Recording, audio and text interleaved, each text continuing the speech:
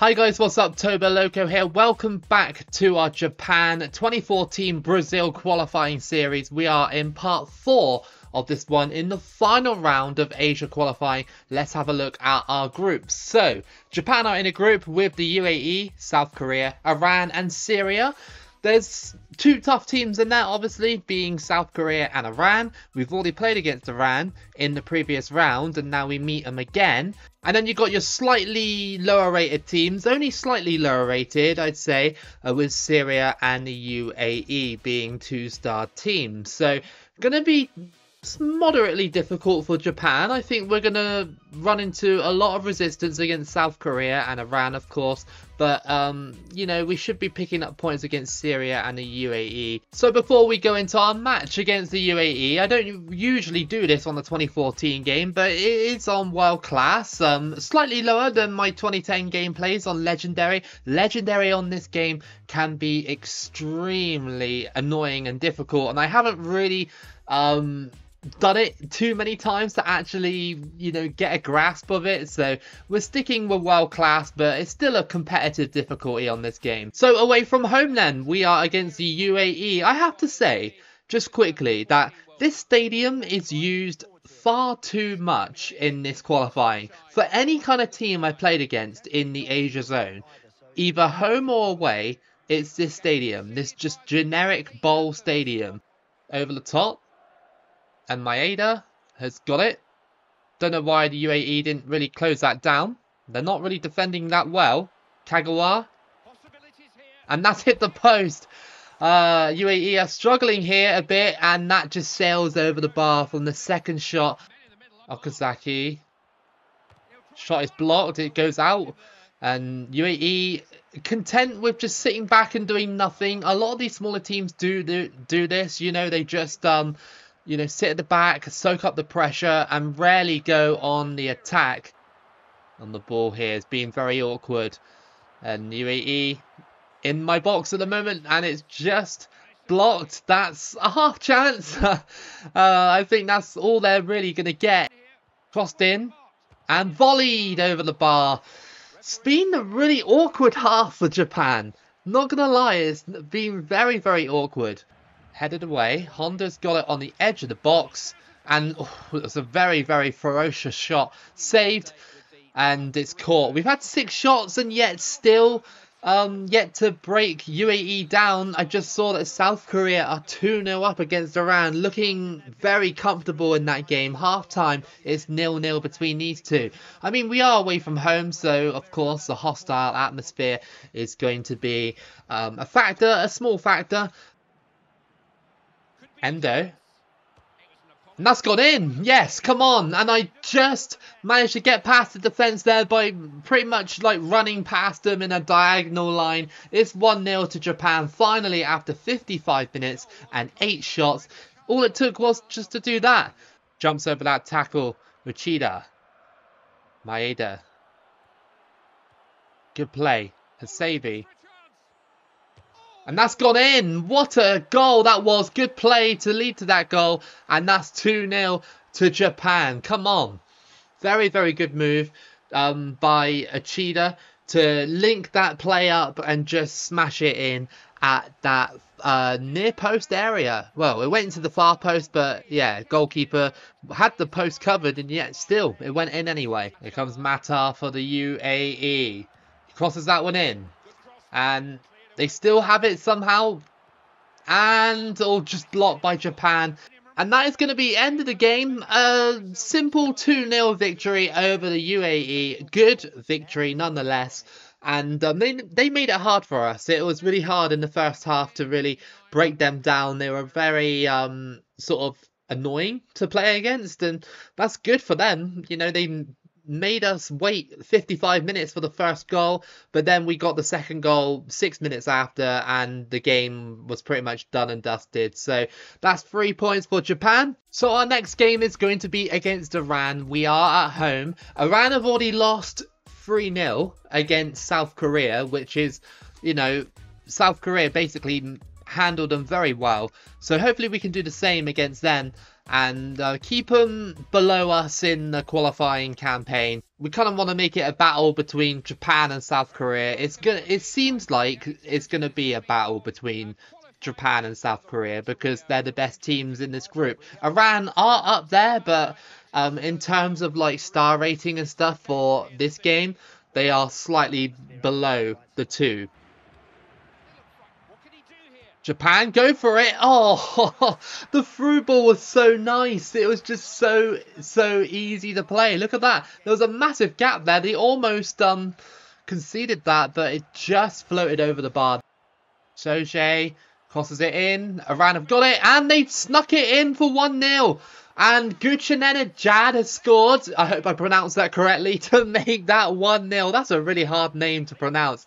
But yeah, um, defending there wasn't very good and Japan have conceded against Iran. That's 1-0. We almost scored at the start of this match, so Iran basically made us pay for being sloppy in front of goal for the first three minutes of the match. Comes Japan, over the top. It's just cut out by Iran. It's not going to be easy. We've played against them before, like I said, and um, they made it hard for us in the two games that we played against them. So, yeah, just uh, need to get back into this game though because we can't fall behind, especially if we got South Korea um, to play against after this game. Down to you. Now off to Okazaki. Can he put in a ball? It's headed and oh, what a save! I think it took a deflection, but I think the goalkeeper managed to. I don't know if he touched it or not. That was such a good move by Japan to get the goal, and that is an equaliser for Kagawa. Good passing play there. Um, into the box, Honda squared it across, and well, it completely tricked the Iranian defence, and that is 1 1. And Japan have levelled it literally just before half time. So who's going to be the one to come out on top? It's important for Iran to get points in this one because they don't want to fall behind. And it's also important for Japan because they need to capitalise on their win over the UAE. It's been a really, really difficult game for Japan. We struggled in this match to really get forward. Iran have had more chances in the second half, but only by about one or two. So one good ball by Japan and it's all over in this game. But it's just finding it. Havenaar into Honda. It's blocked. Iran have been too good defensively in this match for Japan. And we haven't really been at our best today. But it's okay. A 1-1 draw against Iran. I'll take it. I'll take it. You know, it's against one of the bigger teams in the group. We have faced them before, but they have been awkward at times when we played them. So again, another draw between these two. It's interesting to note that Syria had just beaten South Korea by two goals to one, which means that well, that's huge, really, for Syria. Really, really huge, you know taking points off of South Korea there. Incredible. So the group is a little bit more close, and um, we have a game in hand on South Korea, so we could go above them by about one point. The one that you've probably all been waiting for is Japan versus South Korea. We are traveling to Korea for this one, and hopefully it's a good game. I really hope so. And finally, look at that a different stadium. That's what you love to see. Finally, not just the random bowl stadium, finally a different stadium. Here we go then. Can we take points off our rivals today? Just like Syria did against them, it would be great if we could as well. I think this game, at the moment, seems to have nil-nil written all over it. I can't get forward and neither can South Korea. So Um, might be in for a bit of a dull one. I might have overhyped this a little bit. It's good play, but oh, just offside that move. It's just frustrating because both sides have been good defensively. Look at that, marginally offside. It's good through ball, but the goalkeeper's got it. That's the story of this half. It's just been nothing, absolutely nothing from both sides. I just checked the halftime stats and zero shots in the whole game. Zero. This has to be one of the worst matches I've played so far. It's just nothing going on. The two are just so well matched that you just can't get past each other. Ball. Here comes Honda. And oh, went for the shot and it was denied. The game doesn't want any shots. That's a good ball. And that's a great save. Oh, that was the only shot of the game pretty much. And it was a save. Crossed into the box. Back header. And that's a shot for South Korea at the end of the game as well. They had to match Japan somehow. They had to. And that's end of the game. Quite possibly the most boring matchup between these two in the history of this rivalry. However, there was some you won't see it that much on this footage or whatever, but there was a lot of good battling in midfield, a lot of like pushing and shoving and stuff like that. It really felt like it was like a proper rivalry game. I mean, look at the stats for that game. Look how even it was. There were more tackles in the game than there were shots. So that's your table. South Korea are still two points ahead of us. Japan have a game in hand, just like the rest of the group. We have got to play, I presume, Syria next because we haven't played them yet. So that's a good opportunity for a win. So our fourth match of qualifying is at home against Syria. Should be a chance for Japan to pick up some points. A win would be great. Of course, Syria are not going to be pushovers in this match. They actually beat South Korea. A feat that we actually couldn't do. Uchida on the ball.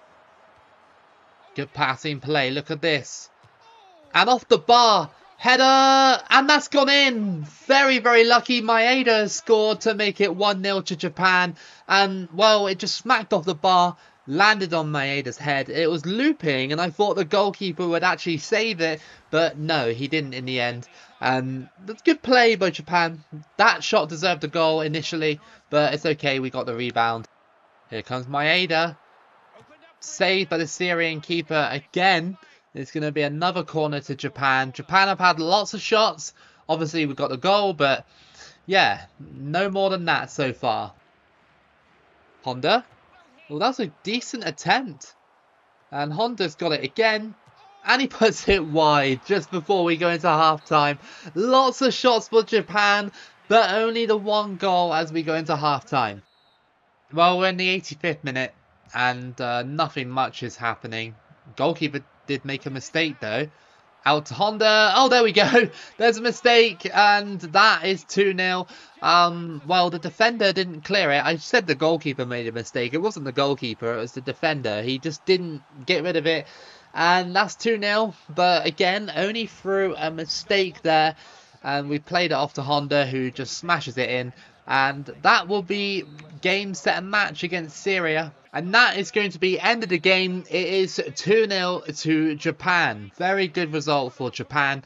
Um, again, not the strongest I've seen them play.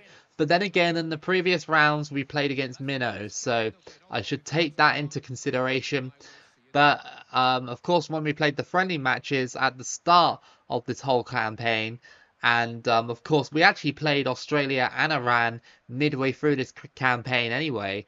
Um, you know, and we did all right against them, but it seems to be we are struggling just a tad. So at the halfway point for the Asia qualifying, Japan are actually top of the group now after beating Syria 2-0. So that was our game in hand, I believe, and Japan are now top with 8 points. South Korea have 7, Iran have 5, UAE have 4, and Syria have 3. So it's still very much all to play for. If we drop points, then obviously the teams below us can overtake us. Um, if we win those games, we can start to pull away. In Group B, like I said, Oman are quite comfortable at the moment. They're really good on this game. They really are. I need to play them one day on this game at least. And um, China, Uzbekistan, and Qatar quite close to each other. Yemen starting to slip away a little bit, but that was expected. If you guys are interested in the other qualifying groups, here they are. I'm not going to go through them all, but you know, it's looking good so far. Group G in Africa qualifying between Malawi, Equatorial Guinea, Rwanda, and Swaziland is looking insanely close. It's like the closest group I've seen so far, but obviously they've only played two games, so there's no real surprises here at the moment. Everything looks pretty standard in Africa so far. In OFC, at the moment, it's looking like this in round three. New Zealand are top, but Tahiti are hot on their tails.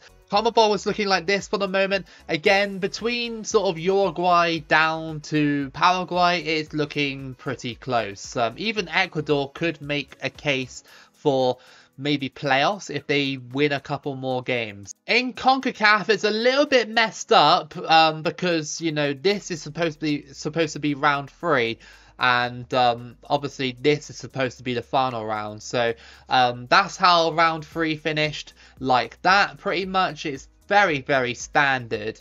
Um, and that's how it's led into into round four. No minnows really, apart from Haiti. Haiti are a minnow, of course, but um, someone had to go through, and um, you know Haiti have found themselves in that position before in in the final round of qualifying.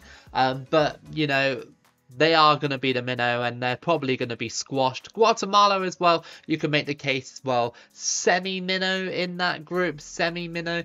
Um, so yeah, pretty basic in CONCACAF. And in UEFA, halfway through, it's looking like this. Any surprises so far? Let's have a look. Uh, Wales, of course, topping Group A with Italy and Belgium in it. That's quite surprising so far. Hopefully they can continue. Look at Group B and look how many points the Netherlands have in that group. They only have two points in Group B. That's crazy. You know, I know Germany's in that group, but I mean, surely they could beat Estonia and Kazakhstan, right? To get some points and farm those teams.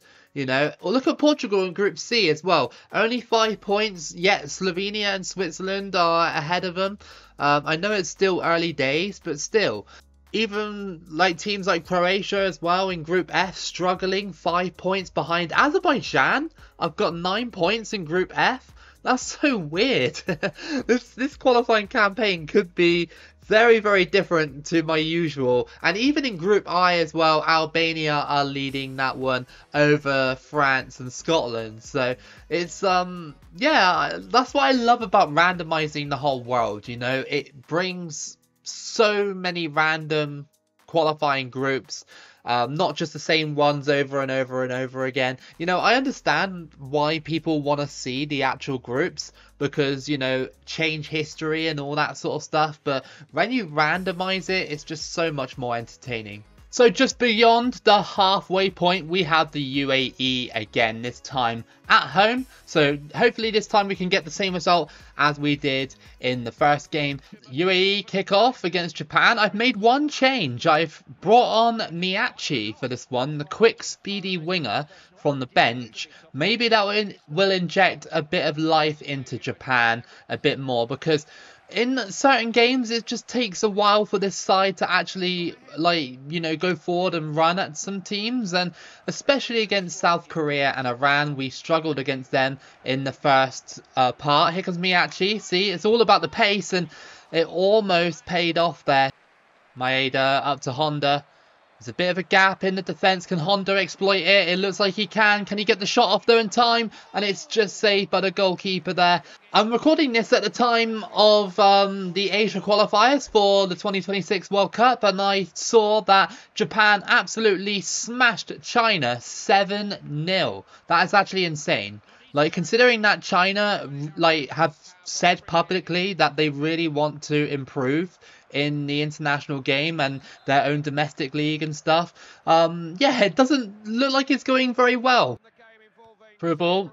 Can we get it? Yes, we have. We just managed to get it. And Kagawa has gotten the end of that one. It's 1-0 to Japan just before the half-time mark. And this is great. Like Kagawa there, getting in front of the goalkeeper before he swept it up and tapping it in for 1-0. Great pass as well, by the way. It's Kagawa's pace that outdid the defence. And yeah, straight in. I mean, even if we didn't get the shot off properly, it could have been a case for a penalty. Maybe. I don't know. This game's not very good with its uh, collision detection on the penalty stuff. Most of the time, if I did that against the uh, AI, it would give the penalty to the AI. I haven't shown it on screen yet, but Iran and South Korea are playing right now and it's currently 1-1. So if those two can drop points, like get the draw, then that's fine by me because that means obviously both teams are uh, further behind me if we win this match. A lot of people commented on my uh, previous parts of this Japan series and said that the 2014 Japan were uh, a really good team, but they were just robbed by, uh, well, a few people said they were robbed by Ivory Coast and Drogba as well. So, um, yeah, I, I, I, I can't remember Japan in 2014, to be honest with you guys. I th- it might be a bit of recency bias, but I th- honestly think that the 2022 Japan and the 2018 Japan were just a bit better in my eyes. Maybe because they went further in the tournaments that they played in.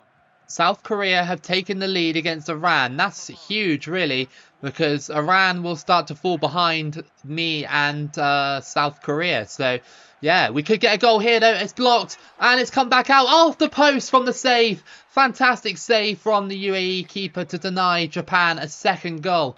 And that is going to be it. A small victory. Not many goals, but Kagawa got the winner in the end in the 45th minute mark to make it 1-0 against the UAE. I'll take it. It's three points. They made it really hard for us. Uh, especially in the second half, they were really, really tight defensively, and it felt like Japan couldn't really do anything. Um, maybe I'm not really getting the best out of Japan here.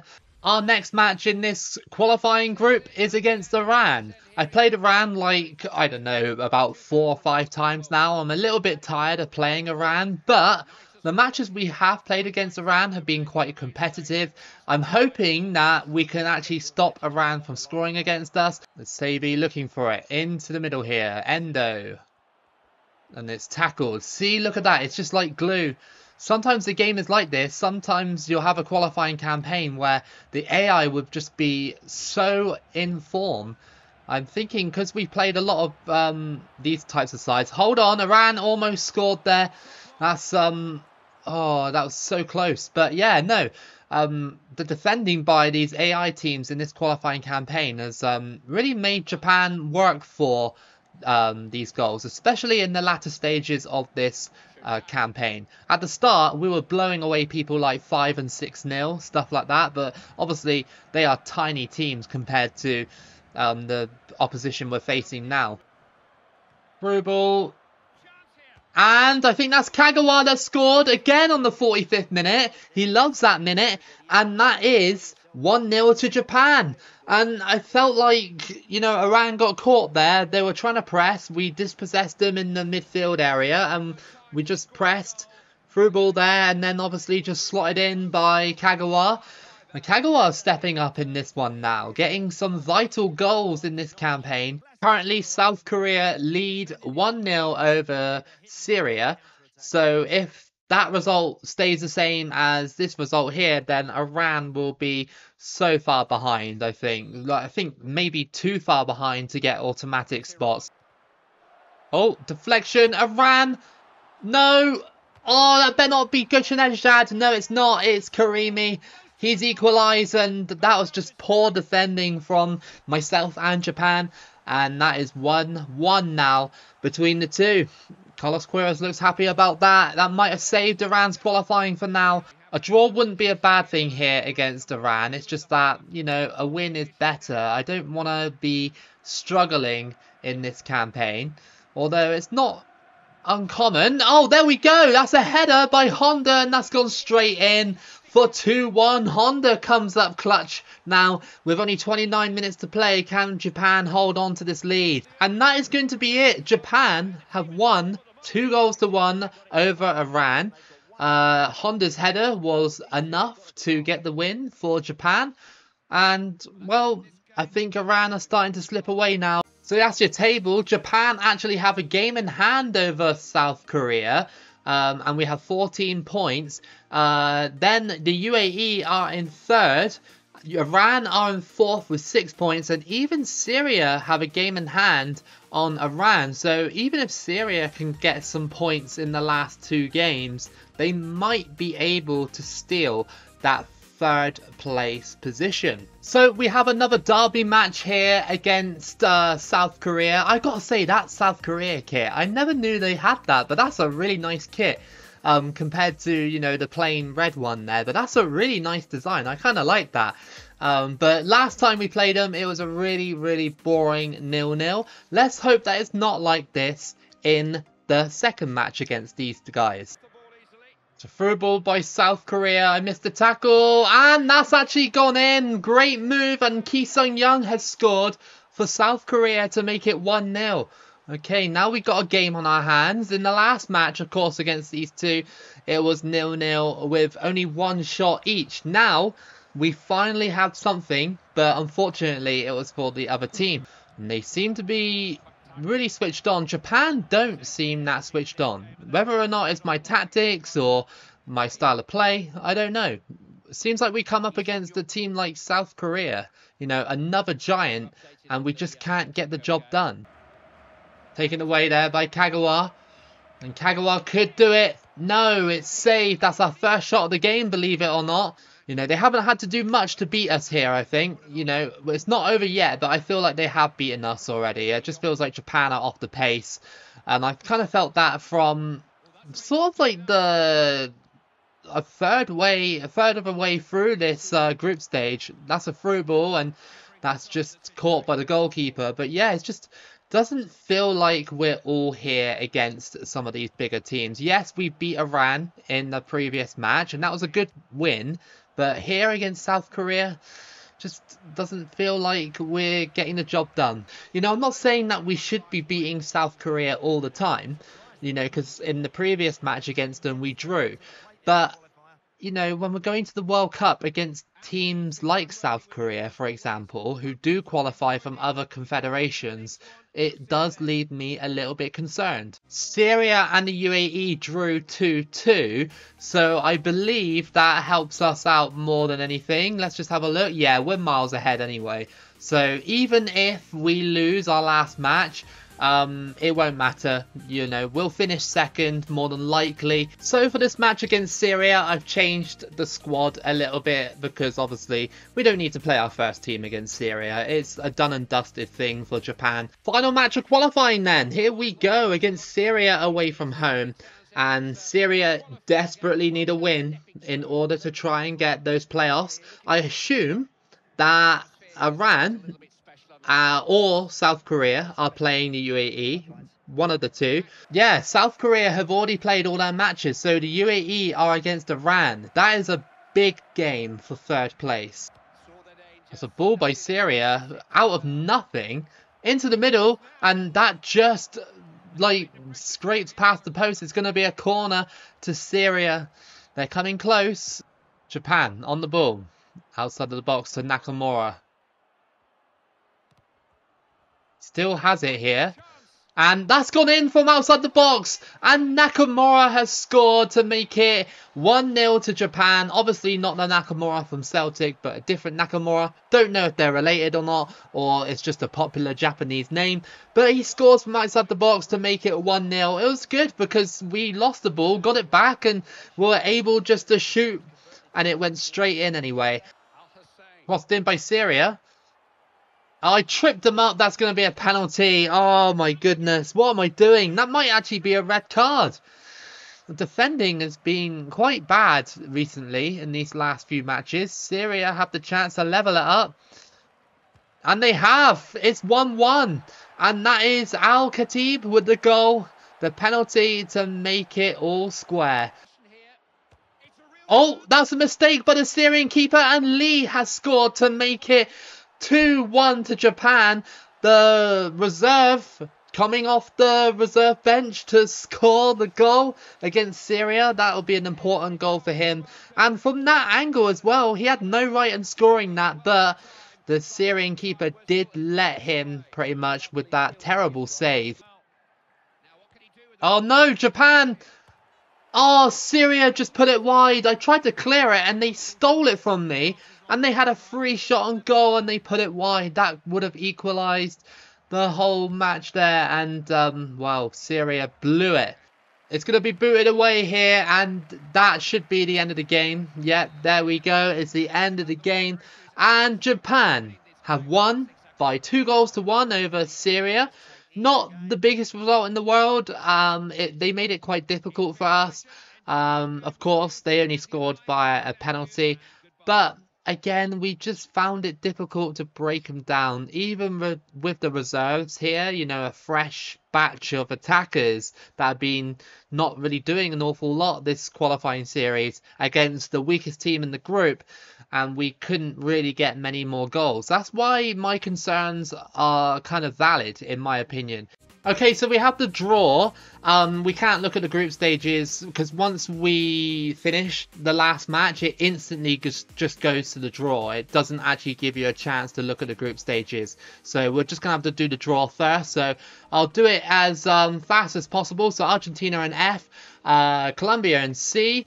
We have Oman in Group F alongside Argentina. Then we have Italy in Group H. And then uh, we got Peru going into Group D. We have Germany going into Group D also. We have Slovakia going into Group B. We also have Gabon going into Group A. That's pretty cool. Gabon don't usually make it on these games, but they did here. England going into Group D. We have Spain going into Group A. And then we have Cameroon going into F. We also have Switzerland into Group G. We have Hungary going into Group F as well. Again, Hungary don't qualify that often on this game, so that's pretty cool. Nigeria in Group C. We have Zimbabwe going into Group G. Wow! First time ever for Zimbabwe. That's awesome. Welcome to the World Cup Zimbabwe.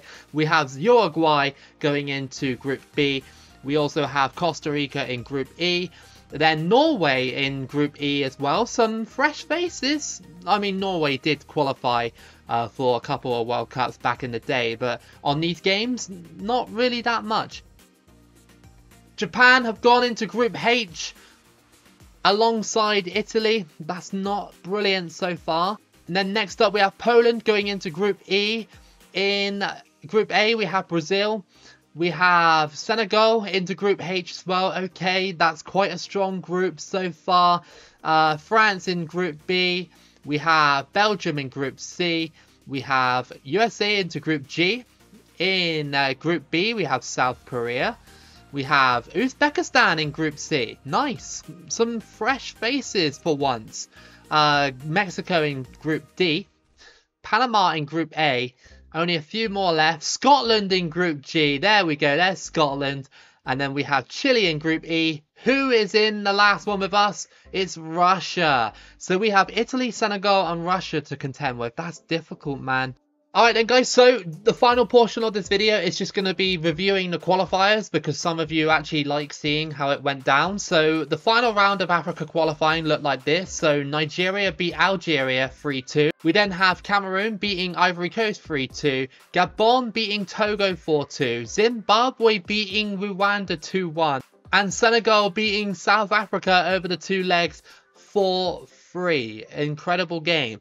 Uh, very lucky that Zimbabwe actually had Rwanda because, you know, it could have gone either way. They could have had like Nigeria or someone like that and just got absolutely slaughtered. So, congratulations to Zimbabwe for making it. In Asia, we already know our group, but in Group B, it ended Oman, Uzbekistan, and Qatar going to the playoffs. So it was UAE versus Qatar in the playoffs. Let's see how that went down. It was 4 3 in the end to Qatar. Um, great match. Uh, UAE won the first leg 2 1, and then Qatar came back in the second leg and beat them 3 1. In OFC, New Zealand were the ones to win the OFC round and go to the playoffs. Tahiti almost did it, man. They were off on goal difference. Really, really disappointing to see Tahiti get uh, eliminated on goal difference there. In CONMEBOL, it looked like that. Argentina and Colombia having a head-to-head race for uh, top spot, and Argentina won. Uruguay came third. Chile came fourth, and Peru came fifth. Here are the two playoff results, and Peru beat Qatar 4-2 over the two legs, and then Panama beat New Zealand 2-1 over the two legs. In CONCACAF, this is how it finished. In the final round, you have the United States, Mexico, and Costa Rica going through. Obviously, Panama made it via the playoffs. Haiti missed out by three points. It would have been so cool to see a Haiti versus Qatar matchup in that playoff round, but sadly, not to be. But we got Panama instead, so that's still kind of decent. And then finally, we go to UEFA. And there are some huge uh, teams and performances by some minnows and um, some big teams even missing out in the process as well. So in Group A, we have Italy going through automatically and Belgium going to the playoffs. Um, Czech Republic, Denmark, and Wales didn't really have what it takes to match up with Belgium in that one to fight for playoffs. In Group B, Germany went almost perfect and Sweden made it to the playoffs. The Netherlands missing out on this World Cup by five points. Um, if you remember earlier on in the campaign when we reviewed it, the Netherlands were doing so bad and they were about to pick it up, but too little too late, I'm afraid. In Group C, Switzerland went through automatically, and Portugal just beat Slovenia to that playoff spot. Um, Slovenia missing out on goal difference there. In Group D, Slovakia went through automatically, and Bosnia went to the playoffs. Montenegro missing out by three points, and Ukraine missing out by four points. In Group E, it was a bit of a shock seeing Norway qualify uh, automatically and Spain having to go through via the playoffs. All the other teams came kind of close, but um, not to be, unfortunately. In Group F, a massive surprise in this group, not because Russia topped the group. I'm talking about Azerbaijan going to the playoffs. Azerbaijan did so well to get 20 points in a group with Croatia, Russia, and Ireland in there. Um, you know, Cyprus are beatable for Azerbaijan, and so are the Faroe Islands. But I mean, to beat the likes of Croatia and Ireland, that's crazy for Azerbaijan. They must have had some sort of golden run or something like that. In Group G, we have Hungary topping that group with 25 points and Serbia going to the playoffs. Again, Greece were about six points off in the end, so unfortunately for them, they couldn't make it. In Group H, we have England top of that one, and then Poland going to the playoffs. Uh, Malta in that group getting 13 points. That's really impressive for a minnow like Malta. And in Group I, we have France going through top of the group, and Scotland going through via the playoffs. Albania um, I'm fairly sure they were actually top when we last left them, um, so they kind of fell off a bit towards the end. And finally, let's have a look at the playoff rounds. So Scotland beat Serbia 2-1 over the two legs, and then sadly, I mean, for me personally, sadly, Azerbaijan could not join the party as they fell 4 2 against Poland. I mean, you know, they are a bigger team. Poland beaten 3 0 in the first leg, and then Azerbaijan turned it around in the second leg, but it wasn't to be. They lost 4 2 in the end. It would have been so cool to see Azerbaijan join the party and alongside uh, Zimbabwe, but hey, we can't have everything, I'm afraid. Uh, Belgium beat Bosnia by four goals to one, and Spain beat Sweden over the two legs four goals to one as well. And that has been your whole qualifying process with Japan. Join me for part five as we try and navigate this really tough group in the World Cup. Very, very tough group there. Italy, Senegal and Russia. I'll be doing that in the next video. If you did enjoy this video, then give it a like and subscribe. Keep it Loco as always, and I'll see you again for the next video.